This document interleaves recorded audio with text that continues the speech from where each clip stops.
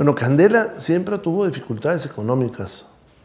Está colocada en un lugar estratégico porque es la entrada a nuestro estado viniendo de Nuevo León.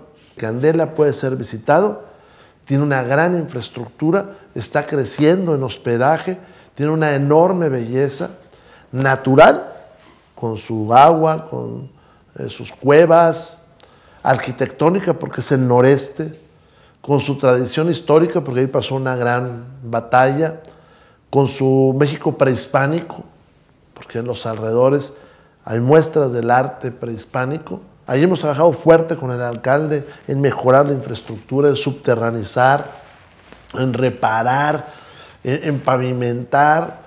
Candela, para lograr atraer turismo, tuvimos que generar paz.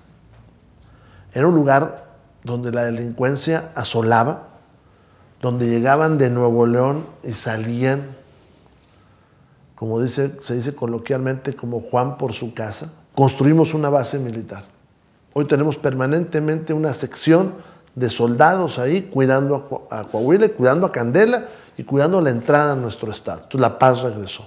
Quien va a Candela se sorprende porque tenemos campos de fútbol, campos de béisbol, lugares para caminar, para hacer ejercicio.